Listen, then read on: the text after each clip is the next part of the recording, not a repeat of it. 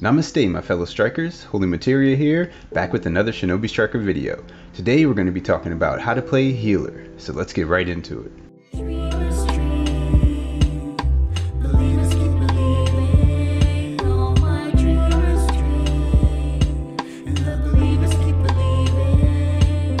Okay, so this is an updated version for my beginner's guide on how to play healer. Uh, this time we'll be updating things. Uh, so yeah, so there's been some meta changes since then. Uh, lots of new DLC has come out. Uh, but most of what I said in there still holds true. But whatever is different in this one, we'll, you'll just take this one as the as the updated version. So when you're playing healer in combat and you're the only healer on your team, uh, the biggest thing is that you need to heal your teammates. Like I know this sounds obvious, uh, like I said in the last video, but I've come into so many matches where there's one healer on our team and that healer has absolutely no way to heal us. They're just running a full combat healer build and they have no way to heal their teammates.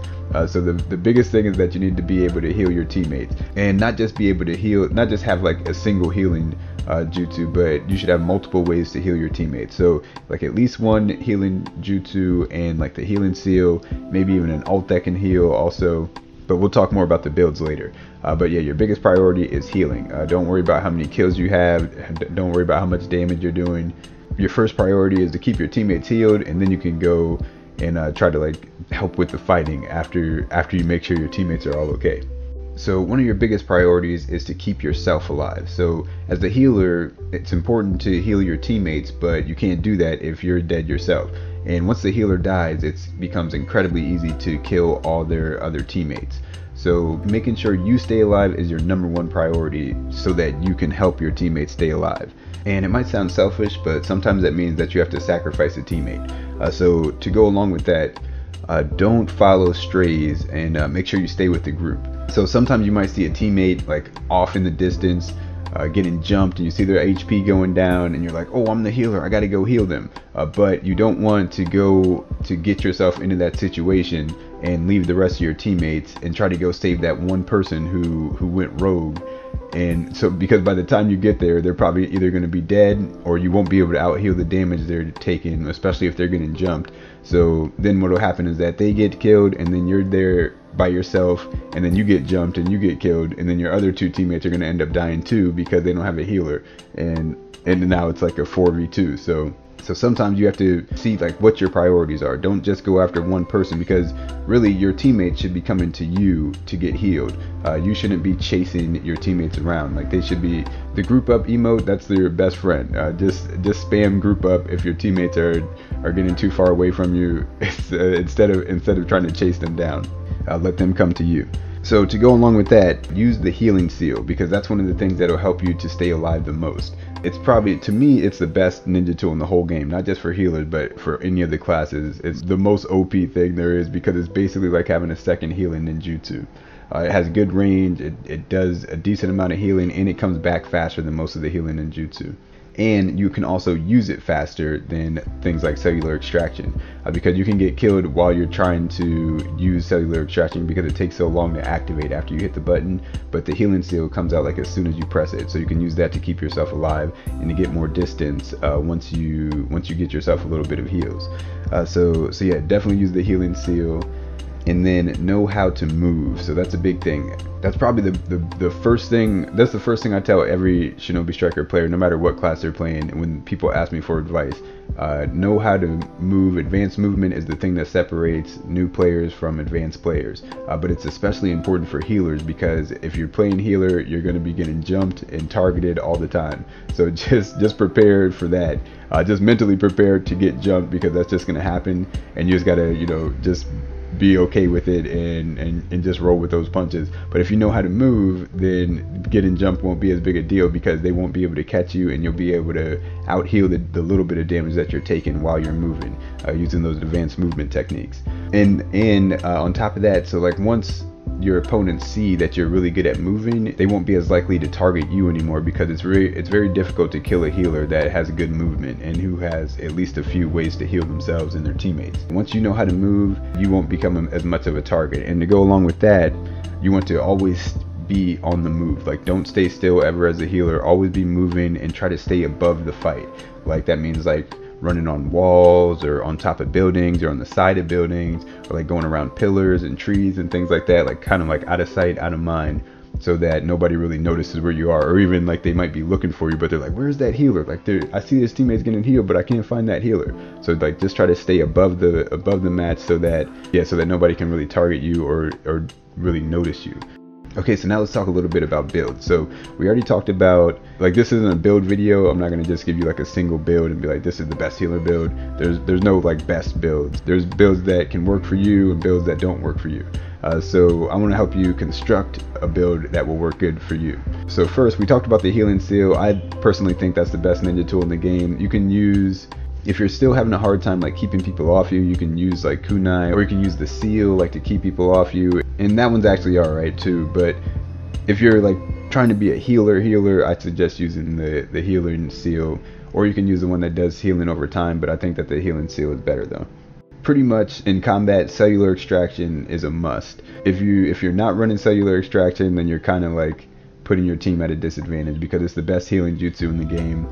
There's it's been out since the game came out and it's still meta and it, there's nothing there's no healing move that's that's outdoing cellular extraction. So that's like kind of like a locked in spot uh, for the ninjutsu but the second ninjutsu is up to you and your playstyle. Uh, so like before I used to like to run triple heals so I would have a my healing seal cellular extraction and another healing jutsu like palm sage. Uh, you can do that it's a it's an okay build if you if you really want to be like a pure healer but you can also run like a, another support move. So something like uh, super and boulder and in my last video super Light and boulder was not very good at the time but now it's been buffed and it's one of the best moves in the game. It provides so much support for your team. Not only does it buff everybody's action speed so like their their speed their their jumping their attack tracking attack tracking distance uh, it makes it so it buffs your team to, to be better at fighting but it also gives them alt charge uh, and it's crucial. Like it, your alt will charge so fast when you're using this move consistently. And make sure you pop it at the very beginning of the match too, like while you're still in your spawn, because by the time, because that will that even though the effects will be gone by the time the fight starts, all your teammates will still get that alt charge. So you want to be using that move like as soon as you can get it to the most teammates, uh, use it like over and over. Uh, don't don't hold on to it unless you get the spam scroll, the blue, the scroll that turns you light blue. Don't use a super lightning boulder because it'll erase the effects of the spam scroll. Uh, so that's the only time you really want to hold on to it.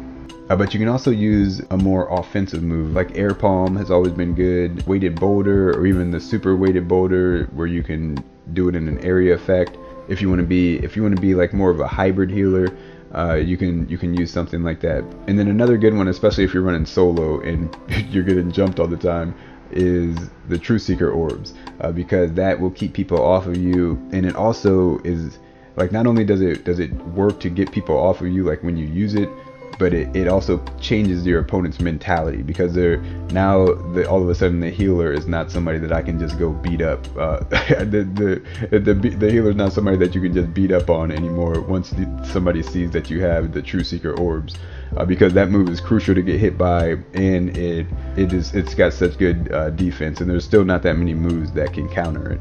And most of the time in combat, people aren't running those moves that counter it anyway. So, uh, so yeah, that's a super good move, especially if you're solo queuing, uh, just to get pe- just to keep people away from you and to change like their mentality when it comes to how they think about the healer on the other team. Uh, but yeah, so the second jutsu is definitely up to you and your playstyle, but I would I would suggest running at least cellular extraction and probably the healing seal and then as for alts, that's uh, that's also like up to you. So healers have a lot of good alts now, especially since that last video. Tsunade's alt is still meta, the long distance healing with the slugs, because it gives so much alt charge to you and your teammates. And, uh, and it, and it uh, heals over time, which is good. But it's mostly about getting that alt charge. Uh, because if you just wanted something to heal yourself and your teammates, then mitotic regeneration heals you completely now, and they it just got buffed so that the it takes less alt charge to get it so you can get it even faster than you could before. And it revives teammates but that's not really helpful in combat. Uh, but probably the best alt is Naruto Last Battles, the massive Rasen Shuriken. It has so much utility. It's a one shot, it has crazy tracking, it's huge, it covers so much space. Uh, so it's basically like a guaranteed hit to at least kill one person. And not only that, but it revives your teammates, it heals your teammates over time, it gives them back their ninjutsu. It just does so many things in one. That it's just almost inarguably the best move in the game. But if you're on a, on a coordinated team, Tsunade's ult is probably better because the ults are so important. But if you're running solo, then I'd suggest Massive Rasen Shuriken because it also gets people off of you. Like you can't get hit while you're doing it. Yeah, it's just a, it's just a really good ult. So super OP. They still haven't debuffed it. I'm surprised because it's it needs a it needs to be nerfed really to be honest. Even though I'm a healer, a healer is one of my main classes, but yeah. Uh, so yeah, that move is still super good. Uh, sleep is still super meta. Feather illusion, especially on pitfall maps. If you're running solo, I'd suggest using that on pitfall maps. But if you're in a coordinated team, you can use that on any map. Uh, as long as you guys are coordinating your ultimates. And if you're like a new player and you're playing on a non-pitfall map, Maze ult can be decent. Um, like all you got to do is get people like about half health and then pop that on them and they and hit them a few times and they won't be able to get away from it. But because of some of the new ults that have come out, that move's not as good as it was when I made the last video. That used to be my main, uh, one of my main uh, healer ults, but yeah, there's other stuff that's better now. Okay, so the weapon is up to your preference and what type of healer you're playing as.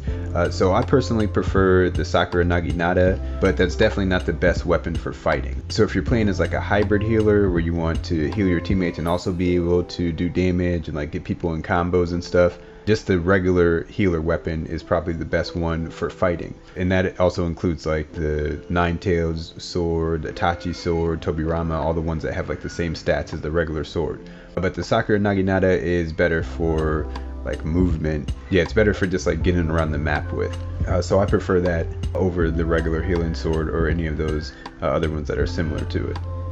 Now let's talk a little bit about the clothing perks. So I pretty much run the same clothing perks on my healer no matter what my build is on combat. So I use First Blood so that my ultimate charges faster, and then Armed and Dangerous so that my ninja tool charges faster, and in a bind so that if I get if my health drops below a certain point, then my ninjutsu will charge extremely fast. Uh, so if you notice, all of my all of my things are about time uh, because making your cooldowns lower is crucial for healers because because you're getting jumped all the time. You need like all your stuff as fast as you can get it, and especially if you're running the healing seal, then armed and dangerous is is best uh, for the bottom so that you can get that back uh, even faster than it already comes back because that's going to be your best friend. Uh, but if you're running a different ninja tool, then I would suggest using Clear Mind so that you get your healing ninjutsu back faster and running first blood with the super light and boulder jutsu makes me get my ultimate at least three times a match even when I have like the slow charging ult like massive Rasen Shuriken but when I have an ult that charges quickly normally like solid fog I get that at least four times a match with the combination of first blood and super light and boulder jutsu. Uh, some people like to run master of medicine so that they get more heals with the, every time they heal. But the thing is, is that that only heals yourself not your teammates. But some people argue that because you are getting so much more heals your your ultimate ends up charging faster anyway and plus you're getting more heals. So there's no real point for the ultimate charge one. But i don't get enough healing for myself to for that to affect my alt so much. So because it doesn't help my teammates i don't really use that one and you can also use the accessory that gives you health back every time you get a kill if you're more of like a hybrid healer where you're actually trying to get kills. But just remember that you only get that health back when you get the finishing blow, not just like because the KO comes up on your screen. Uh, so I don't really use that too much when I'm playing healer, unless I'm in the pit. Uh, so yeah, that's about it for uh, how to play healer in combat. So yeah, let's just uh, just to sum it up. Make sure you're healing your teammates. You have at least a few ways to heal your team. Uh, stay alive. Keeping yourself alive is the number one priority. Uh, don't follow your your rogue teammates who go off too far by themselves. If they die, they die. That's on them because they didn't stick with the healer. Use the healing seal. That's going to be on every one of these every one of these I'm going to say to use the healing seal for for base, flag, all of it. Uh, know how to move, master that advanced movement. Uh, you can watch my advanced movement video or check out somebody else's. There's lots of people that have advanced movement guides um, on Shinobi Striker. And uh, yeah, keep moving, never stay still, stay uh, stay above the fight. Uh, make sure you're like in areas where people aren't really able to see you very well. And yeah, the build's up to you, but I'd suggest cellular extraction at least. And then uh, yeah, there's lots of different ults you can use that are uh, viable in combat matches for healers.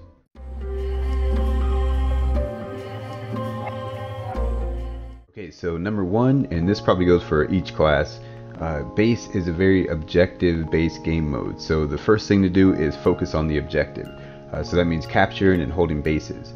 Uh, Because of the DLC, healers have become the second best class when it comes to controlling and capturing points.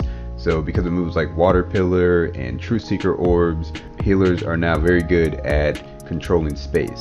So you want to be focused on not only capturing but also holding bases. So healers should be rotating and we'll talk about this for each class but when it comes to ro rotating the bases, healers should be rotating based on what teammates need help. Uh, instead of instead of uh, just thinking about which bases to capture. If none of your teammates really need help, then make sure to hold the base that you're on, especially if you see any other opponents there. Uh, so second, healing your teammates. So because base battle is more objective based, uh, healing teammates isn't the main priority, uh, but you should always have some kind of way to heal your teammates uh, in in every game mode if you're a healer, uh, to be honest. But um, it's good to have at least one global healing move for for healers, like whether it's like Ino's heal, the mind transmission, Palm Sage Jutsu, or like an ultimate like Mitotic Regeneration, or Massive Rasen Shuriken, or uh, the slug, long distance healing, something like that, um, or War Arc Sakura's ult, the 100 healings. So it's good to have some kind of way to heal your teammates globally so that you can heal your teammates because everybody's going to be spread out all over the map. Some good builds to use in base battle would be first of all water pillar is the is the best move that healers have uh, for base. Uh, even though there's lots of counters to it now, it's still one of the best moves and it's still one of the biggest nuisances. Uh, you just have to be more strategic how you use it now. Like wait for people to waste their water pillar breakers and then and then pop it, or you can wait until you have like the base partially captured and then put the water pillar on there, so that by the time they break it, you'll already have captured it. Or maybe you just have to uh, block and and deflect somebody off of you, and then you'll and then you'll capture the base like that. In the last video, I was talking about how the uh, summoning slug is a really bad jutsu, but it's been buffed and it's one of the best healer jutsu now, especially on base battle. Uh, so you can run that, uh, put that on the base, and it, it, you can completely destroy your opponents because they're, they're going to be trying to get on the base, and they, so they have to run into that slug and get that debuff to their defense, and it'll be so easy for your teammates to kill them because of that, and all your teammates have a way to heal themselves and remove status ailments. So that's a really good move on base. And you can also use that to leave on a base and then rotate to another base to go help another teammate. And uh, also, also use the healing seal. That's the that's still the best thing for healers, even on base battle. Uh, especially on base and flag, I would say it's the best thing to use because sometimes you don't want to use all healing jutsu. Uh, so yeah, the healing seal is really good. Truth Seeker orbs are really good for crowd control, uh, but just note that you can't capture a base or hold a base while you are inside the ball. Like you can use it to knock people away from the base, but you won't be capturing the base because you're floating above it. And also, if you if a opponent is on the base and you're inside the Truth Seeker orbs, they'll they'll continue to capture the base even if you're like hovering above the, the base. So just be careful with that. And when you when you shoot it, it's good to either hit the healer or the defense type with the orb so that you can reset their ninjutsu because they have the best jutsu when it comes to capturing bases or even or, or holding bases.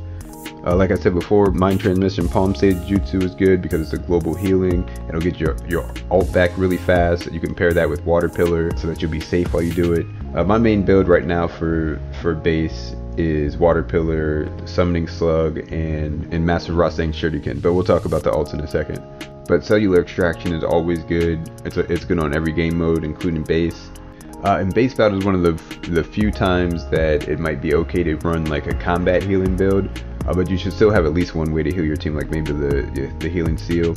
Uh, but because a lot of the healer one-shot sort of builds, they require people to be like stationary or like on the ground and base battle is the, is the best time to be able to catch people with things like shadow stitching or shadow possession jutsu. And the, all the ground pound moves are good because they break water pillar and sand shield like crimson drizzle uh, heavenly foot of pain and sakura's ground pound. And this is one of the few times where green rain ground hold can be okay. Yeah so there's a lot of uh, there there are a lot of jutsu that are viable in base battle uh, that aren't that good in combat or other game modes. Uh, so as for ults, Mitotic Regeneration is good because this is the time when reviving people is the most important. And to go with that, base battle is probably the only time that Naruto Last Battle's rebirth move is good, his ninjutsu, uh, because it, it's important to be able to revive people on base battles. Uh, so yeah, so that makes Mitotic Regeneration really good because it heals your teammates completely, globally, and it will revive everybody on the whole map. Uh, Mei's ult is really good. And actually makes uh, Lava Style is also a decent uh, ninjutsu too. But her ult is really good for clearing bases and even uh, killing people who try to stay on on the base if they want to if they want to try to fight you while it's going on. 100 healings can be good because it's a global heal and that ground pound you can get a lot of people in it because people will be stationary like on the bases. Uh, but I but the best ult is probably uh, Massive Rasen Shuriken because because everybody's always grouped up on the bases you can get so many people with that. And it's a global heal it gives everybody your ninjutsu back and it revives everybody. So it's kind of like Mitotic it's kind of like two or three alt in one uh, basically. So yeah that's still the that's the best alt in base just like it is in combat Okay, so as for the weapon, it's pretty much up to you. I think the Sakura Naginata is the best in base personally because it's good for getting around the map and you need to be like uh, going to different bases and stuff. So because the air combo is so good at moving yourself forward, I like to use the Sakura Naginata. The only problem with it is that in base battle, it's really crucial to be able to break your opponent's guard because people are going to be guarding a lot on bases. But with the Sakura Naginata, the heavy attack is like a two hit combo and only the second hit breaks guard. So sometimes people will be on the base and they'll be able to knock you away before you can break their guard. So the normal healer weapon, uh, like we talked about in combat, is, is much better for breaking guards because it's just a single strike. Even though it's slow, uh, it can't be deflected. So the normal healer weapon and anyone that has the same stats, like the Tobirama uh, weapon, the Itachi, the Nine Tails, all those, uh, they're all okay for base also. Okay, so let's talk a little bit about the clothing perks. So for base, I pretty much run the same clothing perks as I do in combat. I always use first blood so that I get my ultimate faster because it's really crucial to get your ult a lot in base battle. Because healers, because of the ults that we'll use, they clear bases, so it's really important because it's almost like a guaranteed cap every time you get your ult. And I still use Armed and Dangerous because I'm always use the healing seal, so that's still good. Uh, but in base battle, instead of using Unbending Will, I use I use Battle Harden so that I get health back every time I get a KO. Uh, some people like to use the bottoms that give you more health. It's a good uh, bottom to use for every class really in base battle because it helps you to outlast your opponents on the bases. But for me, having the healing seal and armed and dangerous is enough to keep my HP up. So you can kind of play around with the with the different clothing perks, but those are the ones that I that work that work well for me and I think they work. Uh, yeah, they work pretty well in base battle with the, especially with the builds we've been talking about. So yeah, to sum it up, uh, focus on the objective, uh, heal your teammates, try to have at least one global healing, uh, rotate to the teammates that need healing, and don't forget to hold bases. And probably the most important jutsu are Water Pillar and Truth Seeker Orbs.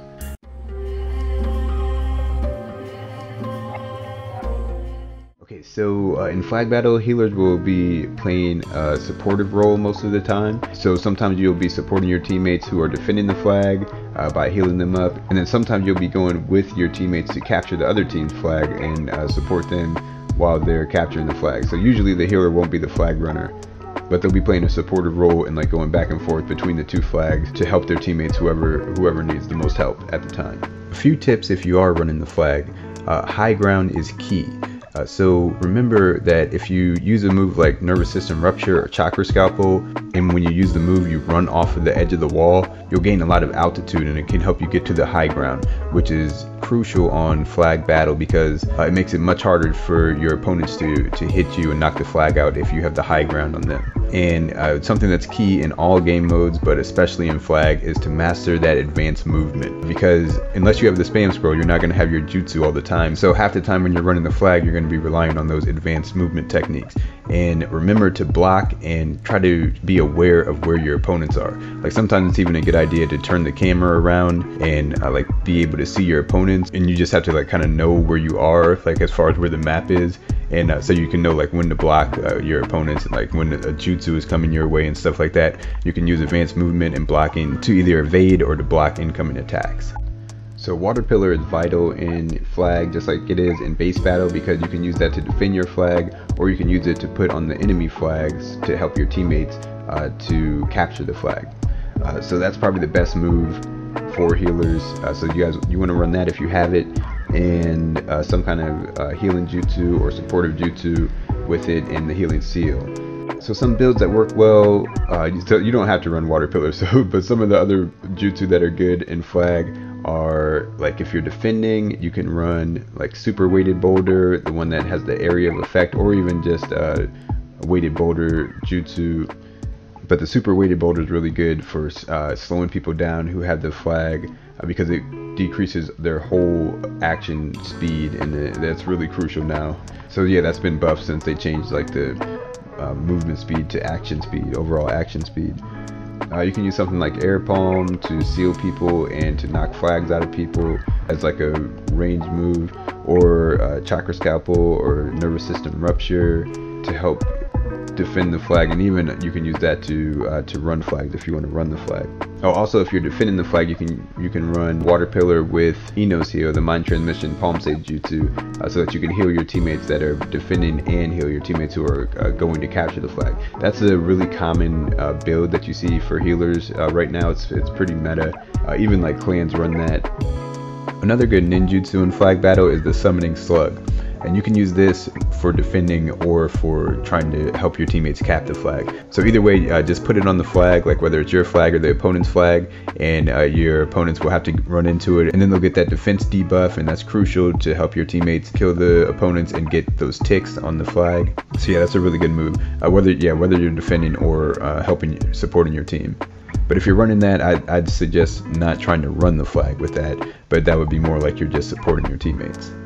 So as far as like some flag running builds, uh, you can use water pillar also to capture the flag and then uh, like nervous system rupture is probably the best. That's probably the best build for running flag. That's my personal build uh, for flag battles when I'm playing healer and the healing seal.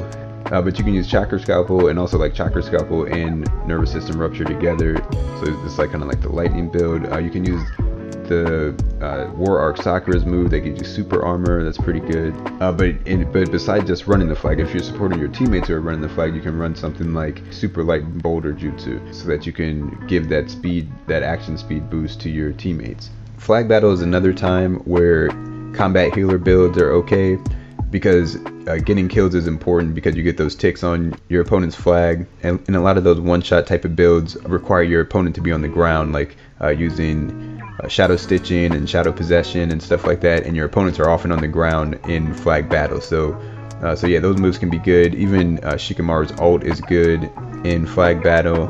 Uh, as for ults, people like to use insect jamming technique, like the, the bugs, because it disorients your teammates. Uh, you can use solid fog because it clears areas. Massive Rasen Shuriken is also a good ult because people are grouped up at the either flag, and you can uh, throw that at them and, and take the flag and it uh, gives all your teammates their ninjutsu back, which is crucial uh, in flag battle, especially if you're one of your teammates is actively running the flag, or even if you're running the flag. And uh, Ino's ult is also crucial on flag battle because it's a, it's really good for support or when you're running the flag because it, it it's, it's especially good for support because you can just use that to keep everybody incapacitated for a minute, or you can pitfall people with it. Uh, and also you can use sleep if you're uh, supporting your team, a feather illusion. As far as weapons go, if you're defending the flag, if you're playing a more defensive role, I'd suggest using the regular sword for healers and any of the other ones that are similar to it, like the Tobirama blade or uh, Tachi and Nine Tails, all that, because uh, it's easy to break guards with that move, and you're gonna be there's gonna be people blocking on your flag all the time, so you want to be able to to break their guards easily.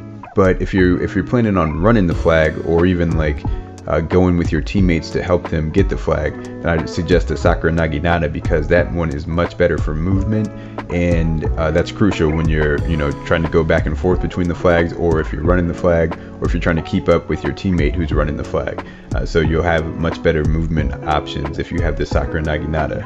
As for the clothing, the only one that really matters is the bottom. Uh, make sure you, you use In a Flash, which is one that boosts your movement speed. Whether you're defending, running the flag, or supporting your team, it's it's crucial to be fast in flag battle. Uh, so when you have that on, when you when you're holding the flag, you pretty much move at the same speed as your normal movement. So that's crucial. And also, if you need to like chase somebody down, or if you want to keep up with your your faster like attack and range type teammates who are running the flag, it's good to have. The only other bottom I would suggest is Clear Mind to help you get your ninjutsu back faster. That one also works well. For the top, I'd suggest First Blood uh, because it gets you your ult faster and uh, your, you can use your ults to clear flags whether you're defending or trying to help cap or cap the flag yourself.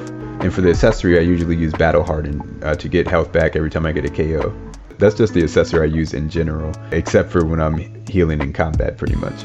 Uh, so yeah, so flag battle out of the main game modes like combat, flag, and base. Uh, flag battle is probably the the game mode where the healer is the least important, uh, but they can still they can still uh, give your team an advantage. Like especially if the other team doesn't have a healer and you have a healer, it'll just give you an advantage because your teammates will be staying alive longer than than the opponents.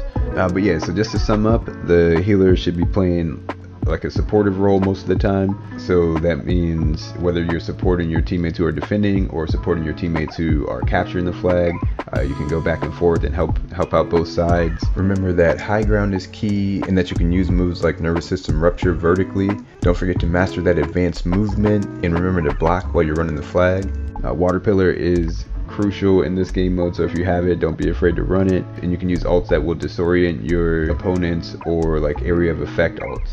Alright so yeah thanks for watching guys. I appreciate all the support. I'll see you guys in the next one. Everybody stay safe out there. Peace and love